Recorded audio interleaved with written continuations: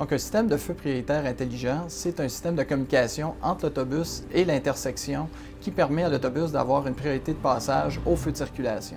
L'objectif, euh, c'est d'être plus efficace, de réduire nos temps de parcours, mais aussi de diminuer nos émissions de gaz à effet de serre. En fait, le système permet de connaître en temps réel et à la seconde près l'heure d'arrivée exacte de l'autobus au feu de circulation. Alors, quand l'autobus s'approche de l'intersection, il envoie sa demande de priorité, puis c'est le contrôleur au feu de circulation qui, lui, peut extensionner de quelques secondes le temps de verre, juste assez pour permettre à l'autobus de traverser l'intersection. Pour fonctionner, l'autobus a besoin d'un émetteur de demande de priorité qui est muni d'un GPS et d'une radio pour pouvoir communiquer avec le feu de circulation.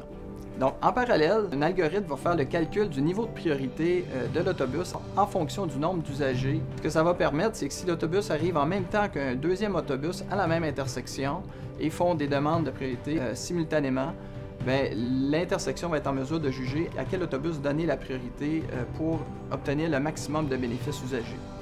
C'est une solution qui est peu coûteuse, qui est imperceptible de la part des automobilistes, qui demande aucune manœuvre particulière de la part des chauffeurs de bus et qui permet de réduire les temps de parcours des autobus à Laval. C'est ce type de projet innovant qu'on cherchera à concrétiser à 1000.